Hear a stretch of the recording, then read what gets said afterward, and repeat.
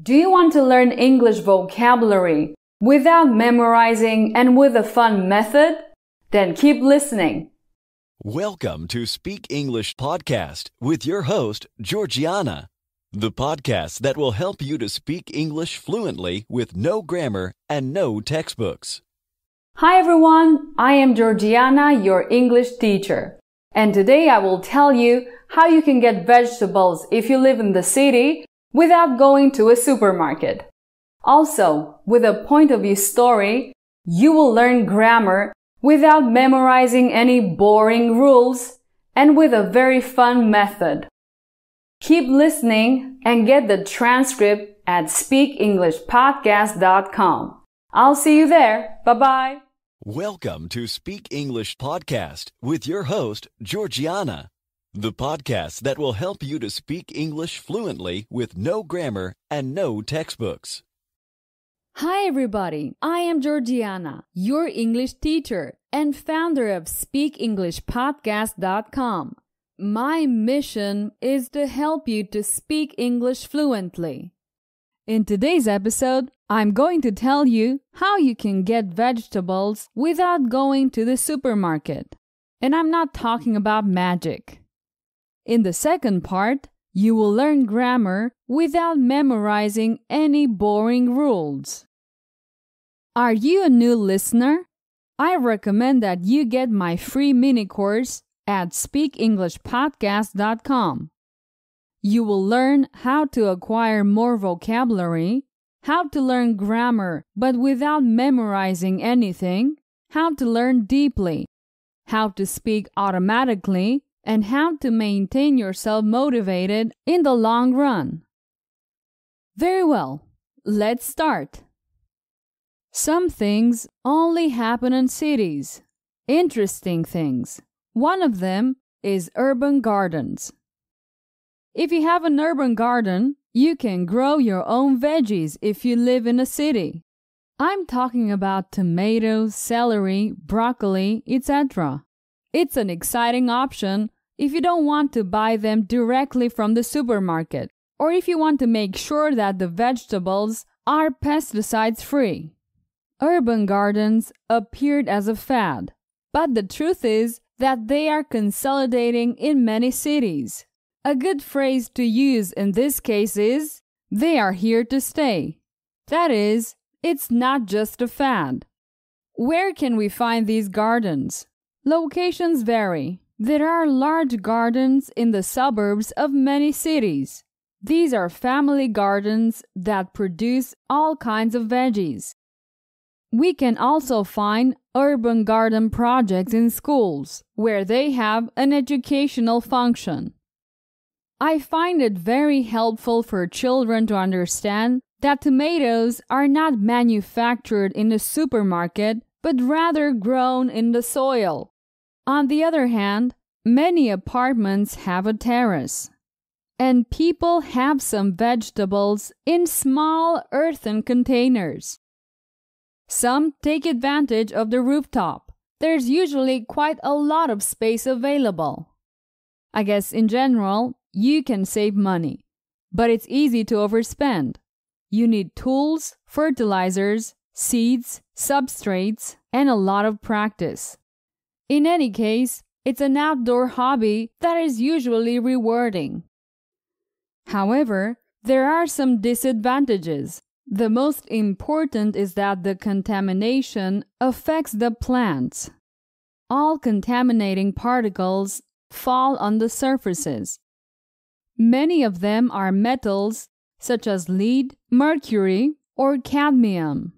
And I don't believe anyone likes the idea of eating a tomato with these kinds of metals in it. Then there is the expense of the water, which can be significant. Nowadays, the water bill can go up quite a bit because there are more and more taxes. So, would you like to have an urban garden? If you already have one, you can tell me about it in the comment section. Before I move on to the next section, go and get the transcript of this episode at speakenglishpodcast.com slash podcast. Do you know how you can help me you can share the podcast with your friends and family. That would mean a lot to me. Thanks. Okay, let's move on to the next section. I'll tell you a short story more than one time. Every time I'll change a grammar point. For example, I can change the tense or the person. This way, you will intuitively notice the changes. Okay, let's start. Let's listen to the point of view story in the past tense in the third person.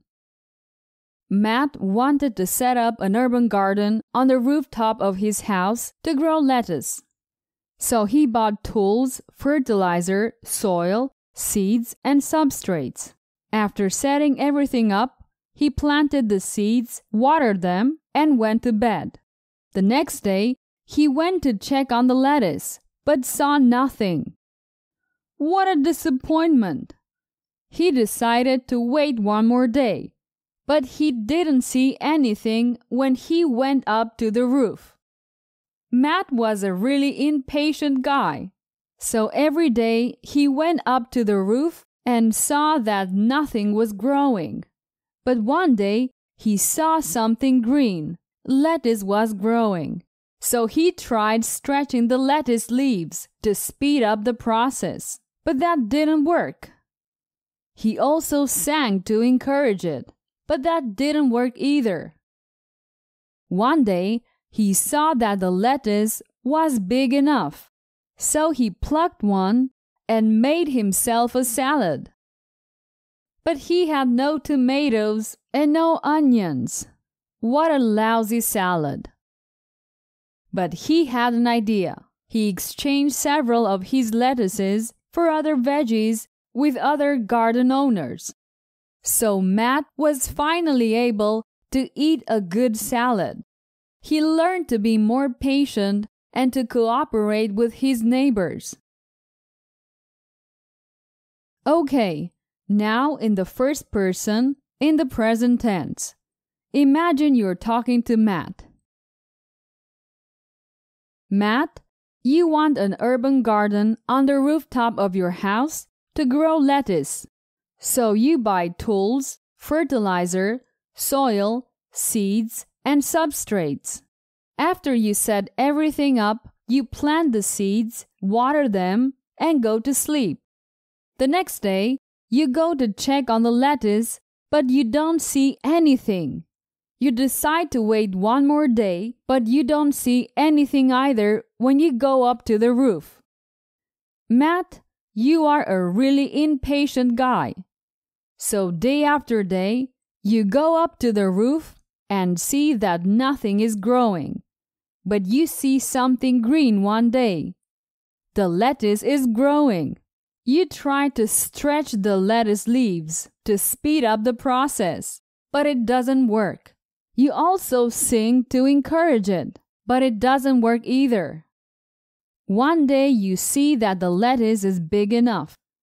So you pull one up and make a salad, but you don't have tomatoes and no onions. What a lousy salad! But you have an idea.